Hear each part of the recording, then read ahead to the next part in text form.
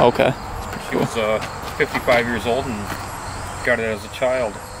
Really? So it's been it has been sitting in the barn for about 20 years. Wow. That's pretty cool. Yeah, I'm not sh- I'm not sure if the tires have been replaced. They're pretty well dry cracked. Yeah, it has a little compression there. Yeah, it's pretty good. Very good compression. Yeah, not bad. She told me her brother had a had a YZ80. Okay. So yeah, it was kicked her butt. but yeah, it's, it was the first year of a a manual transmission. Wow. And being the mini enduro, it's pretty darn rare. Yeah, it's four speed, right? Yes. Four speed with a clutch. That's pretty cool. Yep, everything does work on it. Everything turns. Gas tank pretty rusty, I'm assuming. Honestly, I Oh. look in there. It's really clean. Take Is a look. really? Yeah, I, didn't I did not. there, dude. Wow, I did not expect that. Like zero rust in there. that's amazing. Even look at the yeah. Even look at There's the cat. nothing on the top. That's nuts. That is crazy. Yeah, Looking at I the rest of the bike, you'd think it would be, you didn't know, even look in there. wow. It, it smelled like mouse pee. Oh yeah. So I, I did. I'm sure. it, and I, I scrubbed it down a little bit, but it's not like I went nuts on it. There's still quite a bit of grease on there. Wow. Well, that's that's lucky. Cool. I don't believe this is all the way on. I think this is supposed to go over that lip. Okay. And then being like the YZ80, the carburetor's down inside of there. Yep. Yeah, I've never seen one in person actually. She said the seat was all intact until about two years ago when they had it in storage and a mouse got in. Oh yeah, mouse cat do it. That's kind of a bummer. Yep. Yeah, it's a cool, cool design. I like the the DT design on it. injection too. Yep. Yep. Very cool. But Yeah, it is. All right, here it is. The Yamaha JT1 Mini Enduro. These things are pretty cool. They were only made for two years, and they were kind of based off of the DT1 that were street legal. And um, they said the DT1 was so popular that they just shrunk this bike down and made a little mini enduro with it, which is super cool. Um, I guess they sold a lot of these. They were super popular, and the best part was they were only 300 bucks at the time, so people could afford them, and they were better than mini bikes because they had a four-speed clutch engine and suspension and everything like the big DT1s. So these things flew off the shelves and they're super popular for the two years. So they made a JT1 and JT2. On the frame you can see this is a JT1 stamped right on the frame. And um, a JT1 means it's from 1971. JT2 were made in 1972. But you can see it's just like a mini Enduro. It does have oil injection right here underneath this cap and a carburetor underneath there. It's two stroke and you can see there's a little mini oil tank, gas tank, a little mini seat on there. So it's definitely a very, very cool machine. You don't see these every day. On eBay, these go for right around six to ten thousand dollars restored. So they bring a lot of money, and it's very, very hard to find them in all original condition. A lot of kids used to um, modify them, try and make them faster, take off parts, um, swap exhaust. So to find it in original condition is pretty rare, especially with all the original paint, all the original stickers, these emblems. It's super rare. And the guy that sold it to me bought it from the original owner. He only owned it a few days. He was doing a quick flip on it. And he said that that was the original owner, just stored in her basement for many, many years. And uh, it hasn't ran in like, I think he said like 30 years or something. So it should be interesting. He said he tried to start it and he could not get it to start. So we are going to attempt to get this thing to start today. Hopefully we can do it and uh, hopefully we can be riding this thing around by the end of the video.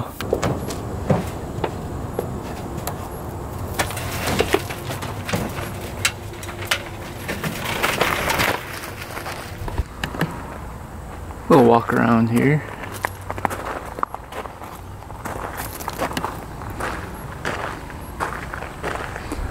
So it is missing the number plate right here. Other than that, it's all original and pretty much complete.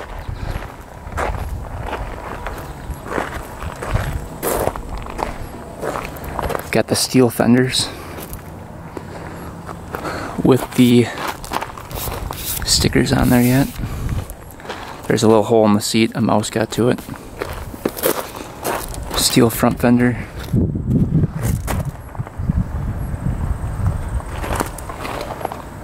Super cool design on this bike too. I mean, look at all the little components. Little brake, little kick lever.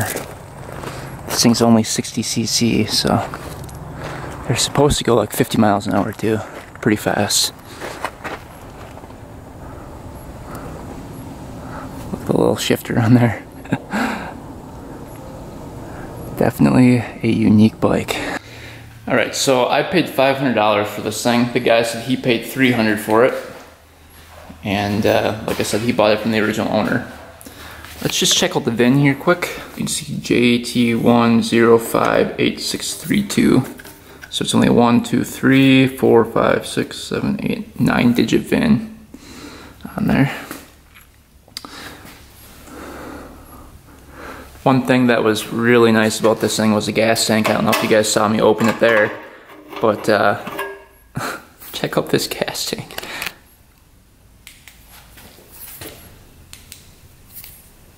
She is rust free in there. That has to be extremely rare. I mean, that has like zero rust in it. That's I've never seen this old of a bike with zero rust in a gas tank. So they must have drained it completely out and had no moisture in the basement whatsoever. But, I mean, look at that. so that's gonna make my life a little easier. And then look at the gas cap. No rust in there at all. So that that's sweet. That's gotta be really rare. Um, I believe this is a kill switch right here. And it might be faulty. So that leads down to this wire, which leads down to the coil right there. So I'm guessing that's a kill switch. The guy said he was getting intermittent spark. So he's thinking that's why it didn't start up. But it does have the clutch and it has a manual four speed. And the brake does work too. And the throttle works. So we're off to a great start. Um, let's first check the spark. Could just be like a foul plug too. He said he didn't dig into this thing at all. Could be the spark plug boot, could be a foul plug, could be a lot of different things. So we'll see. He said when he first got it, smelled exactly like mouse peeing. So he tried to clean it, but it's still there, the smell. Alright, so looks like a crappy plug in here.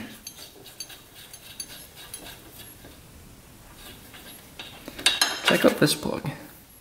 That's interesting. AC. Never heard of that plug before. Looks like there's gas on it. It's definitely getting gas see what we get for spark. Kick this thing over. Just kind of see what we get.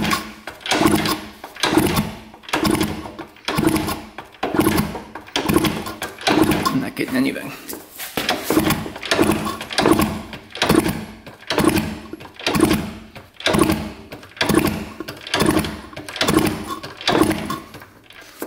See if we press the kill switch.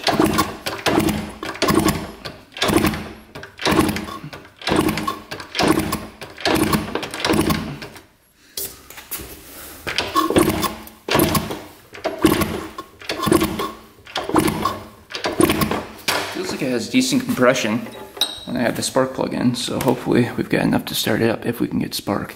But there's zero spark, so first thing we're gonna do is try a different plug and then go from there.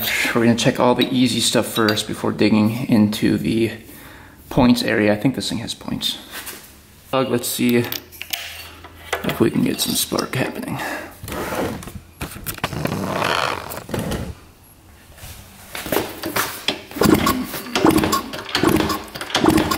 Doesn't look like it.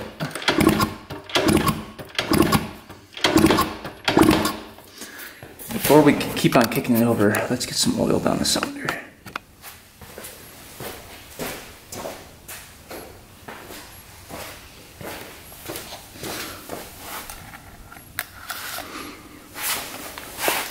Lube that up, it's been sitting for a long time. Plenty of oil in there. Turn the gas cap off too.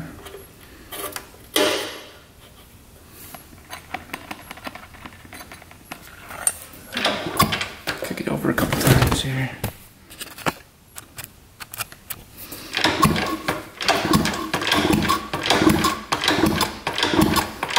Get that piston nice and lubed up. Sounds pretty smooth in there.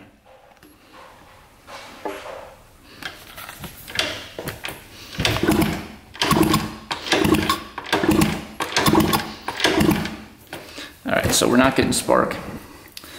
Let's move on to the spark boot. Solve this problem here. Let's see if it's one you can just twist off. It looks like it. think. You can see not much wire exposed in there, a little bit. Yeah, there's quite a bit exposed.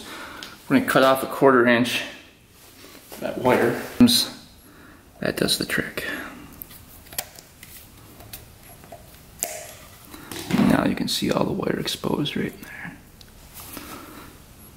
And I'm gonna put that back on.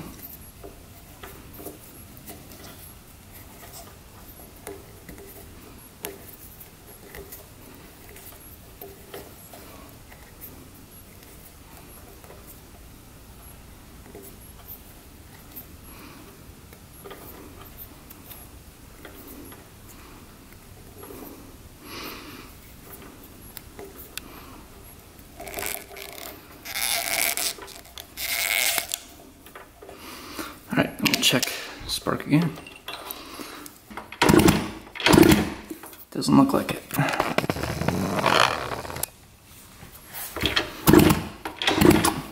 Ground it out better.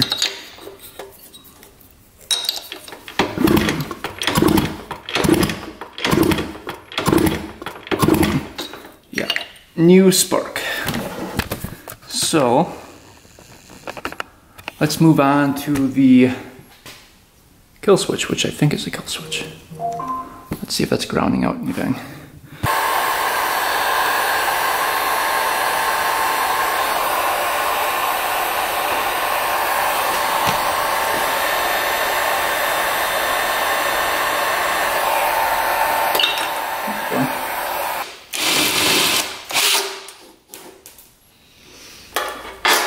Still has the original hardware on it. That's pretty cool.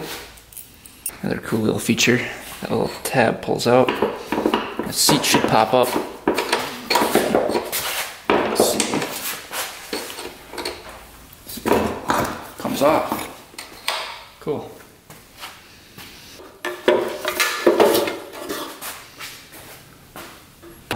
The wire, follow it down to right here where it looks like it leads to the coil and grounds that out. guessing. Sure looks like it, right? So let's try disconnecting that. Let's try disconnecting this wire. We're just gonna see if we have.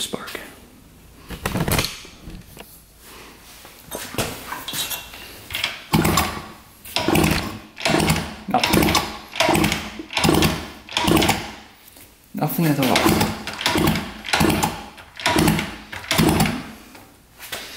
These wires aren't connected to anything. Wonder what those go to. Huh. Red and brown. So it's only this black wire.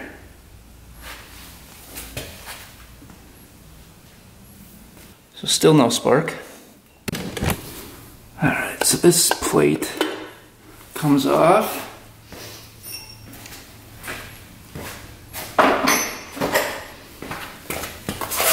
The guy said he never dug into it, so I just can't believe he never dug into it. I'd be so curious as why this thing didn't run.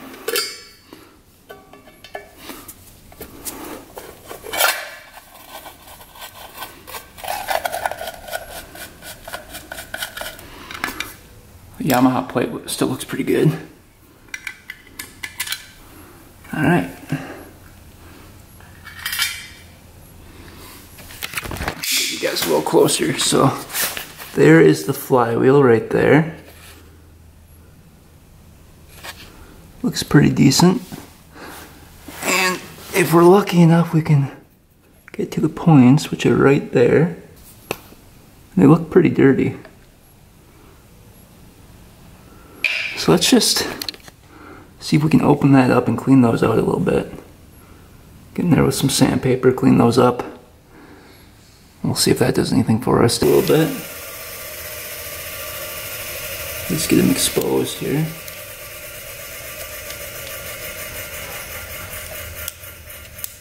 It doesn't look like you tried cleaning the points.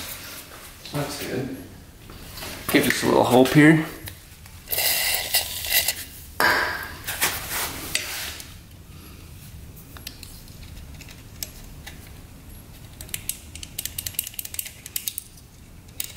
Getting all the crud buildup off first.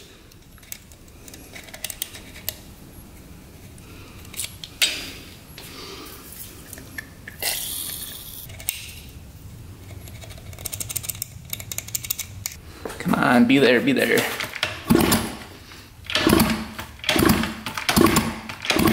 No. Oh, I see some. Looks like the spark plug's fouled out. Try a new spark plug.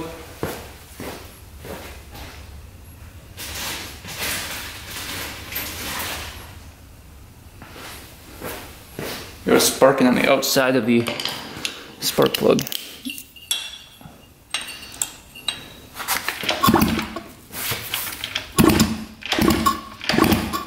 Unless I was just seeing things. Oh, there we go. There's some spark.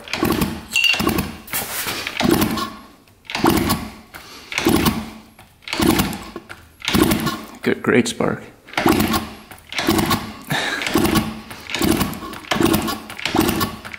All right, well, we fixed that problem. It's always great when it's just the points. All right, let's get our compression tester in there. What are we going to have for compression? I really hope it's above 100. Really, really hope so. Even like 95, it would still run. Goal is to get this thing running and driving by today. All right, we're gonna get the throttle open. Get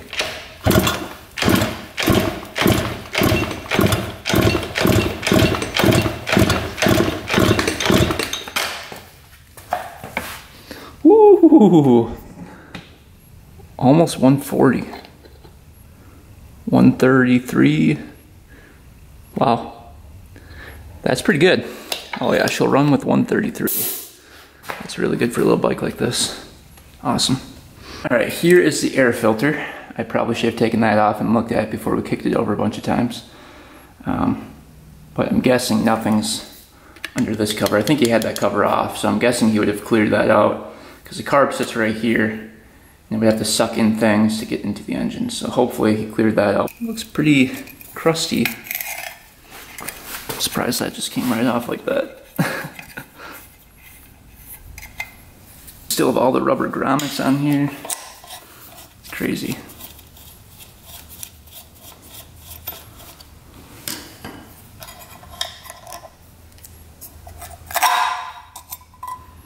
Alright, so it looks like he took out the air filter. Used to be probably like a little foam pad in there. But at least it's not getting sucked into the engine. We'll just blow that out quick with the air compressor.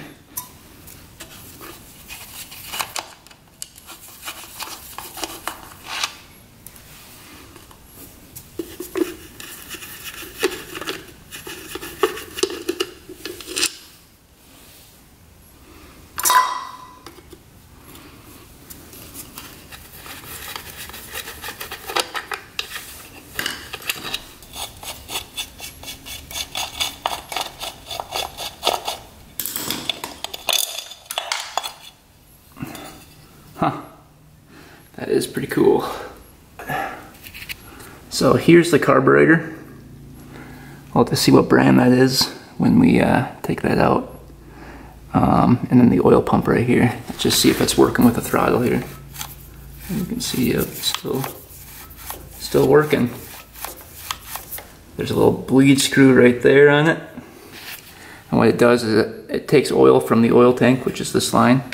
So it's just gravity fed oil to here. You want to bleed that. And once it's through the system, this pumps it into, let's see if there's a line for it. it should be into the carburetor right there, I believe. Let's see. Or back in the back. I think it goes to the back. It might go to the back. So that's pretty cool. Look how tiny that thing is.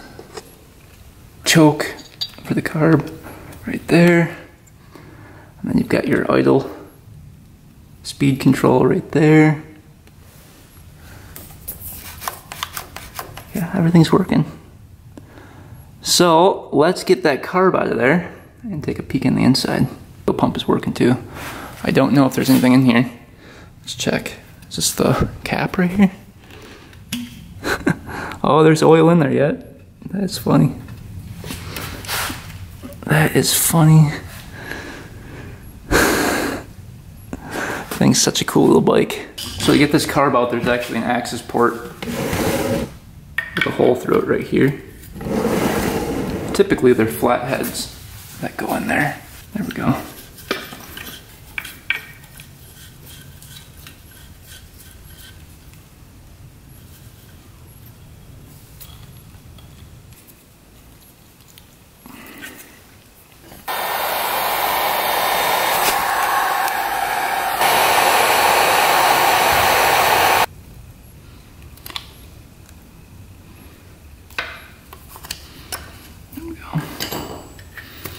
this should slide right out.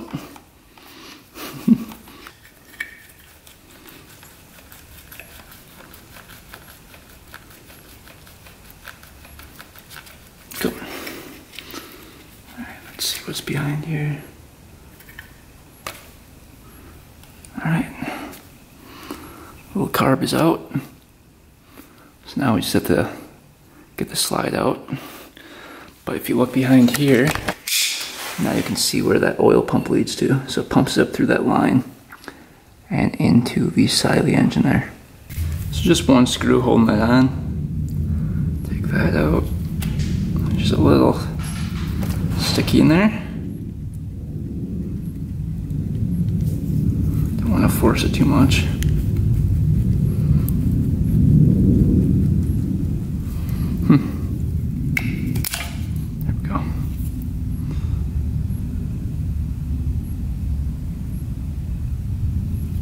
There's actually a little spring that holds that in, that choke mechanism. Huh. It looks pretty decent though, doesn't it? Look how tiny that little carb is. Alright, so let's just see what kind of gunk is in there. Oh, look at that. There's straight oil. If anything, it probably preserved it if there's oil in the in the carb there. We'll tear this apart, see what's going on. Looks pretty, pretty gunked up with oil.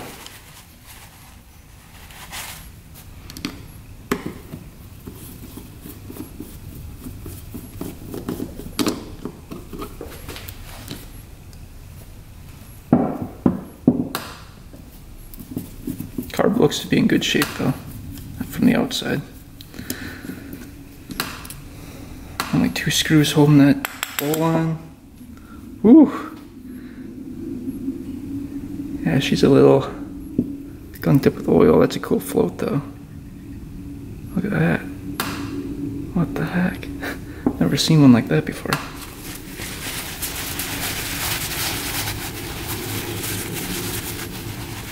So that just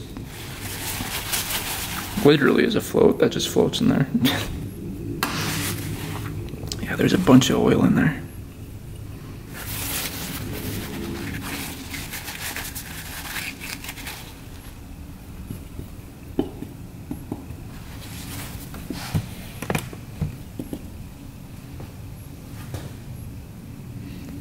Looks pretty, looks like it's pretty clean.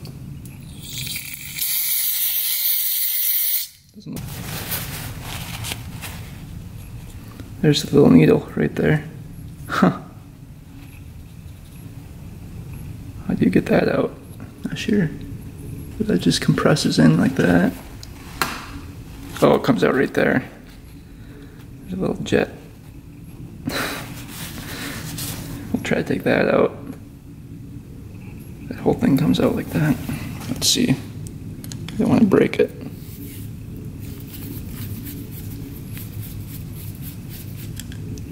That's fancy. Look at that. The needle sitting in there like that. That is something. That is pretty cool. Never seen a carb design like this before. Clear that out. Clear that out. Gasket. Doesn't look too bad.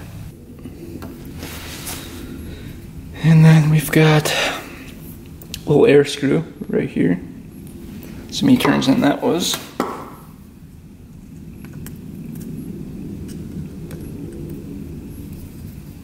One, two, exactly two and a half. Turns out the air screw. We'll put that back to two turns out when we reinstall it. Alright, then the pilot and the main. So let's get the main jet out. Came right out.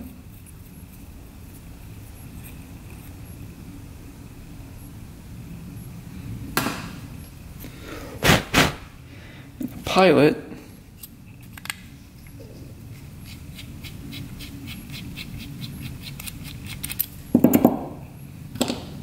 That thing is tiny. There's the pilot jet. I don't think I've ever seen one smaller than that. That is extremely small and clogged. Yeah, very clogged. So we'll go through this whole system, clean it all out, blow it off with the air compressor, and uh, we should be good. Little piece of gunk in there.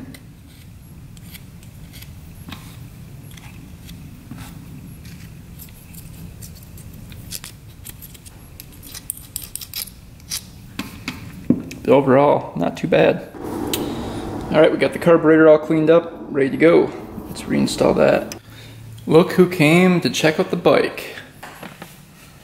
Little Vin. Let's see what he's doing. He's sniffing it. What do you think?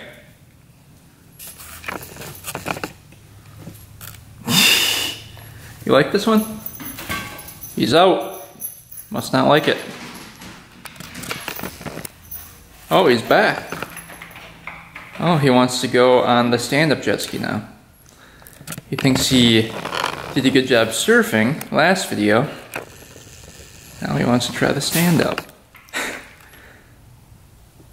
we'll go a different day, buddy. We gotta finish up the bike.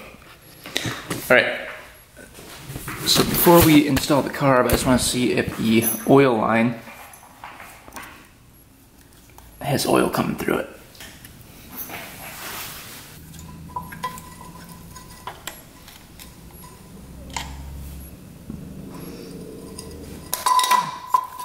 You can see it's dripping oil pretty good. Oil is definitely coming out of there. All right, now we gotta work in this gas tank. So, we can see the inside is perfectly clear. Just inspect it one more time. Just gonna see if there's any debris in there that we have to get out. Man, that is so clear. Yeah, you can see the petcock down there. There's zero rust in there. So, I, I just can't believe that's that clear. Make sure there's no crud at the bottom of that petcock, because we don't want it going into the carb. And there's no fuel filter on these. So. Let's see. Yeah. Look how clean that is. With the original little filter right there. That's crazy. There's a little bit of crud in there I can see. Nothing that crazy. Well, that's it. Not a whole lot. Let's uh, open up the petcock and just see what's inside.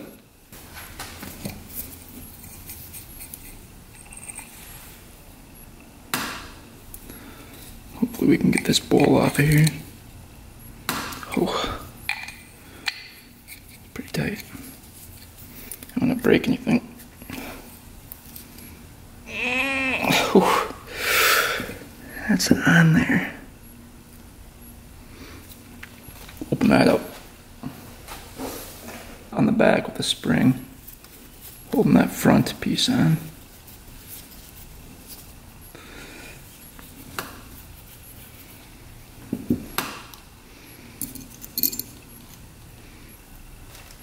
Look how nice and clean that is in there. It's unbelievable.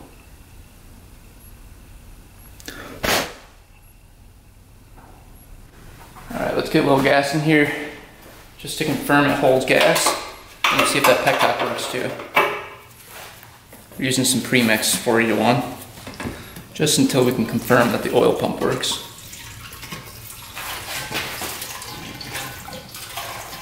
Nothing's leaking yet.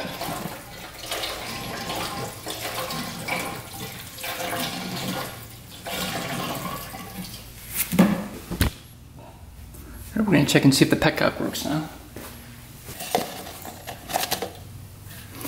So fuel on is this way. There we go. You guys can see that or not. So, petcock is working, not leaking. So we can hook up our gas tank to our gas line.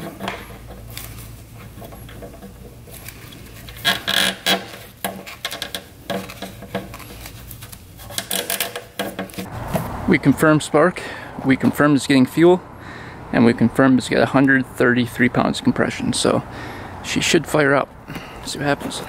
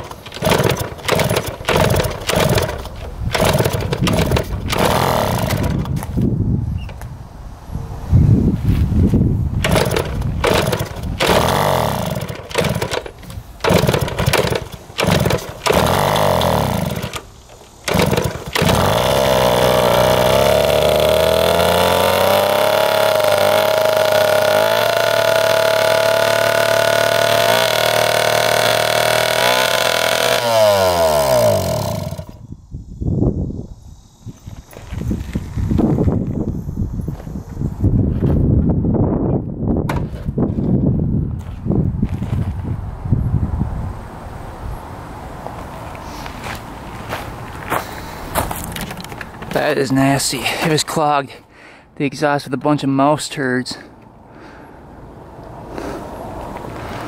Or poison, it looks like almost. I gotta bury that before Ben gets it. Check that out. I think they shoved mouse poison in here. Alright, I set the idle, so hopefully idles now.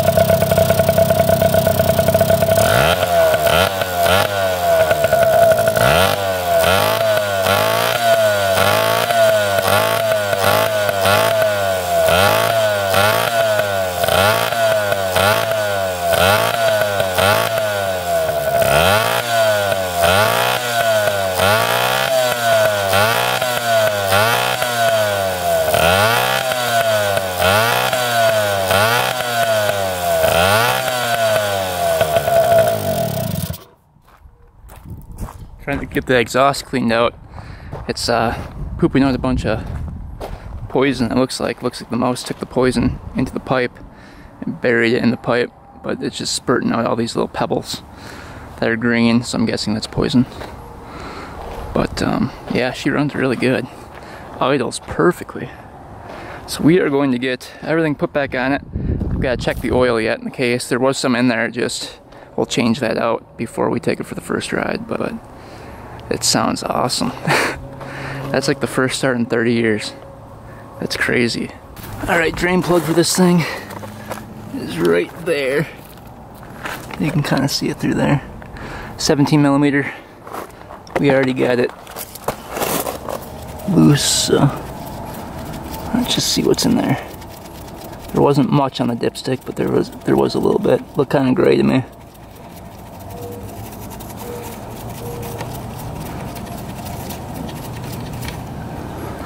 Oh yeah, there's a bunch of oil in there. So that's good. Ooh, a couple metallic flakes coming out. Not a whole lot though. A little metallic-y. Alright. This one actually comes with a dipstick, which is nice. Get our funnel in there. Putting 600 milliliters in, so let's see up to the 350 mark we want to go. Using wet clutch oil.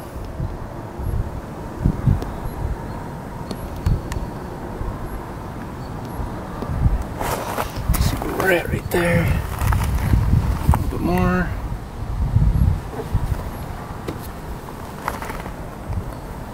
tiny bit more.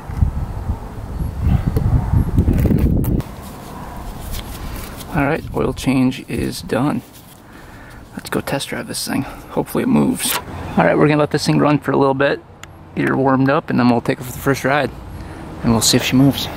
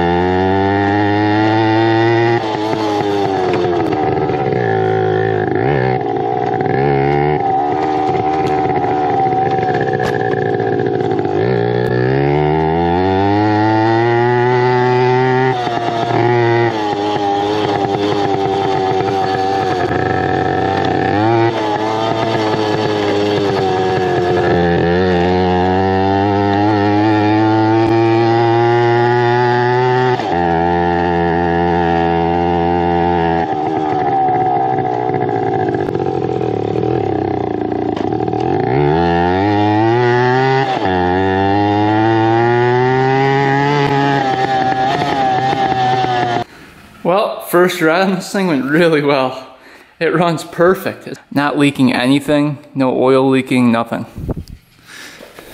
Shifts through all the gears perfectly. And this thing is fast if you can get it up to speed. It is really fast. It's got four gears and I think I only got it up to third gear and it was going probably 30 miles an hour in third gear. So I'm guessing this thing would go pretty, pretty fast. Um, but yeah, it's running perfect, starts right up every time. So this one is fixed. It was definitely a fun bike to go through. And uh, this one I'm adding to the collection because I've never seen one. And I'll probably never find another one in this complete condition that's all original. I know a lot of people redo them, but this one's all original. And I'm just gonna leave it like that because I like the way it looks. Thanks for coming along and uh, fixing this thing with me. It was definitely a fun bike and you really don't see too many of them. Got a super cool look to it. So anyway, thanks for watching guys. Thanks for subscribing. Stay tuned for next one. And until next time, we are out.